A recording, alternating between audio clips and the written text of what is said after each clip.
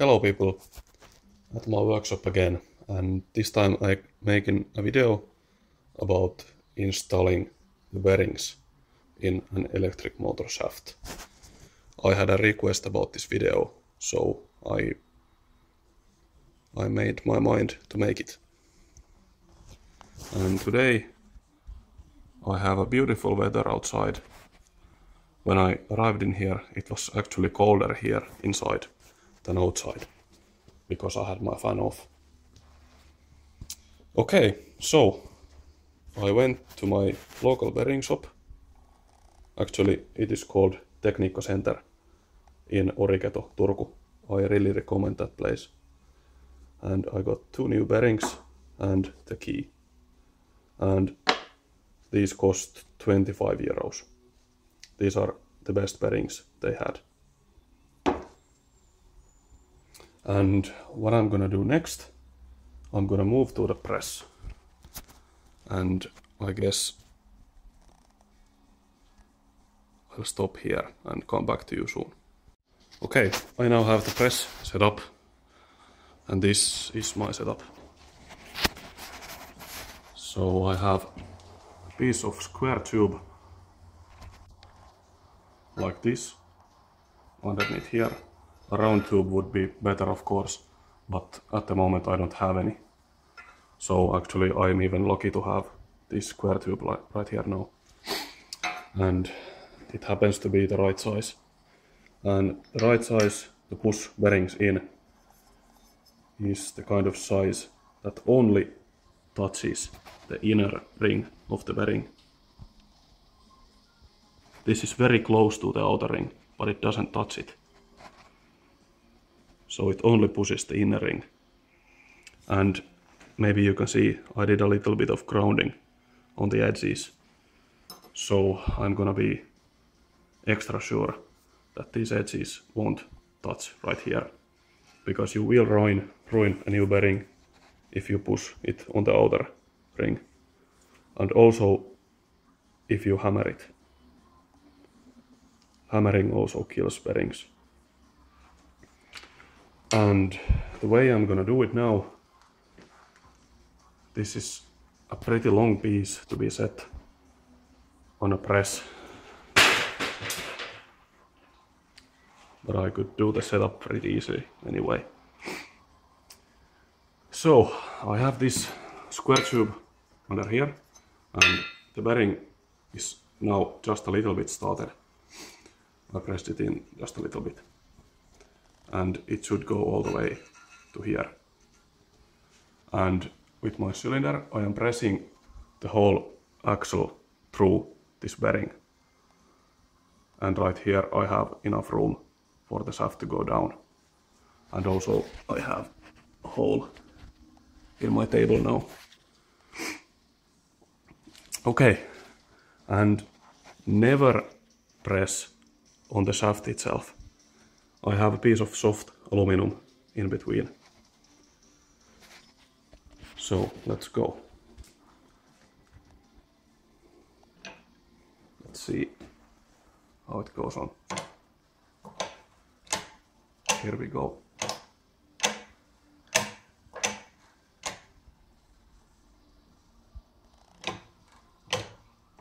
It took very little force.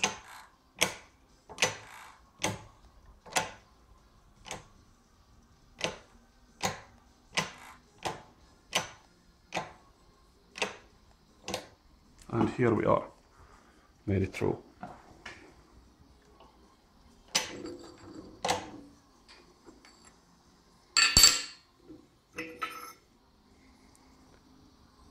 One bearing installed and the other one to go.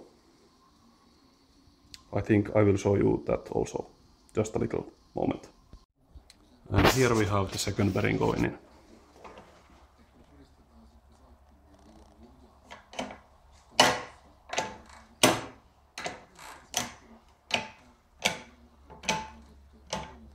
should be running out of room in the tube in a while. Let's see. Yeah, it is about 2 millimeters short. So I'll now pull the cylinder back out and figure out something to put in between there. But I think this covers the pressing back of the bearings. And maybe another way to do this, of course, is to heat the bearings so they become a little larger and you can just, just slide them in. But I am not very keen on doing that. I don't know, these kind of bearings have steel protection rings. These are the old bearings. Uh, so maybe these can be heated up. But at least the kind of bearings that have plastic right here as protection should never be heated.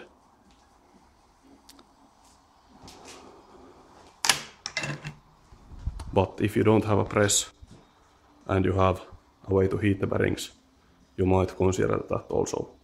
But in this case, in my case, it was a lot easier to just press them in place.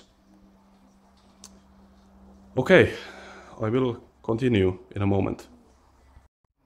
Okay, both bearings on place and I also put the key in. It went on pretty easily. I just put it on there and then I tapped it a little bit with a plastic screw hammer, screwdriver and I mean. Um, and I already tried on tried putting on one of these end caps on the bearing. And it went on maybe halfway. But that's okay for now. And next what's gonna happen? I'm gonna put this rear end cap on. I'm gonna put it on right there this place. And this motor had a spring washer like this in here. So I'm gonna put it back. And I'm gonna set this piece back on. It should be on. It should go on. Okay, I think I need my both hands. So, just a minute again. Okay, the end cap went on pretty easily. Again, I used my screwdriver to tap right here a little bit. It went on real nice. And I just made sure that these threaded holes are in these grooves so I can install these long bolts. But this can be actually turned by hand even after it's put on. It's not that tight. And what I'm gonna do next I'm gonna take this shaft and I'm gonna put it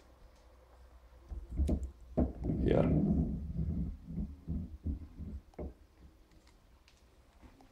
And again, I need my both hands, but the way I'm gonna do this, I'm gonna use my other hand to hold the end cap in place and with my other hand I'm gonna push this in and when I get this side bearing started going on this housing.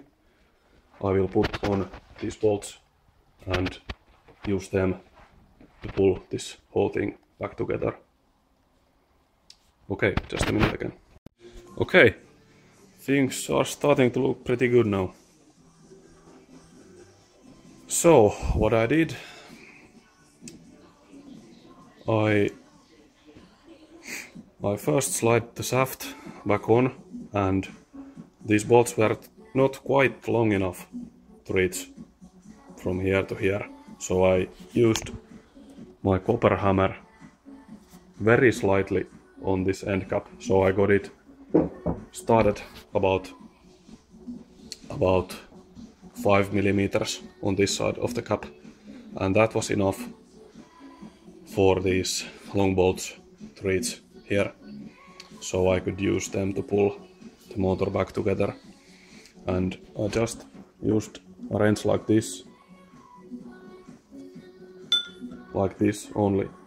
I didn't put enough pressure to need to hold it like this. Only like this with my one hand. And one bolt at a time. Very carefully. And after some turns to the screws, it was back together. And the last thing, last thing to do was to put the pulley back on. And I got it started on the key.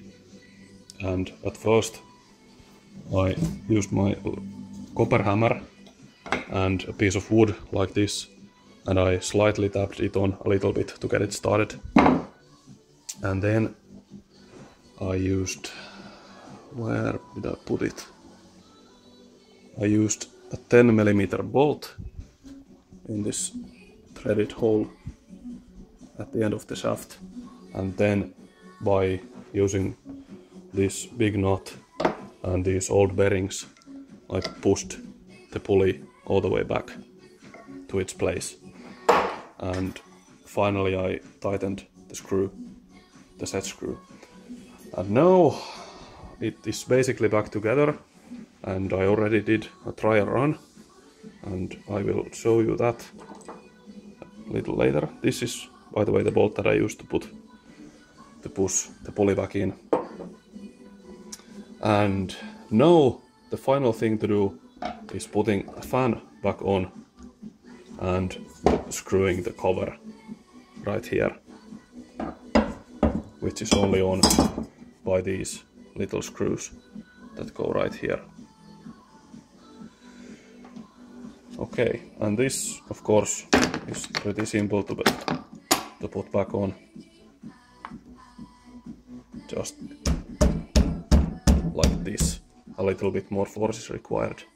I think I'm gonna use my copper hammer and this piece of wood again and tap it right here and then put this collar back on and tighten the screws. Let me do that and then I will show you a trial run.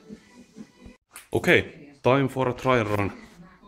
I have the fan back on, but I didn't put the cover back on yet because I can't reach right here with the motor still attached to the table.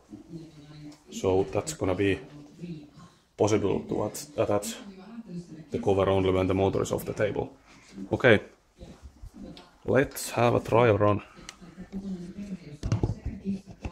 And maybe you remember what the motor sounded like before the bearing change.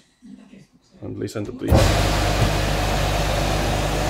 Well, the fan is making a lot of sound. But there is absolutely no bearing sound now. Compared to the old bearings, this is extremely silent. So, I would call this a successful repair. A very success successful repair actually.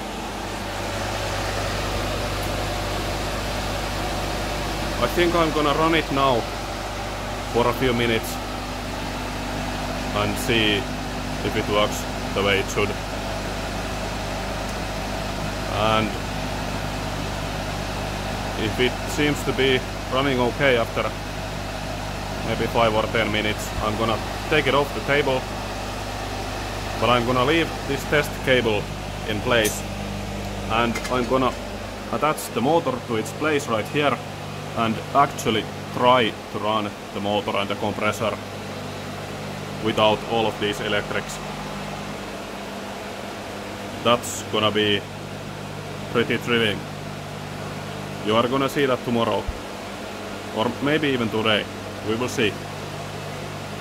Okay, so, but the motor is now running again and in one piece. And I showed you a little bit of how to take it off and how to put it back together. It's a pretty simple job, very simple job. If I hadn't videoed all of this, maybe this whole operation, putting it back together, might have taken maybe 30 minutes to do. It's very simple if you have a press. So, I think the next video you are gonna see is about putting the motor back in the compressor and trying to run it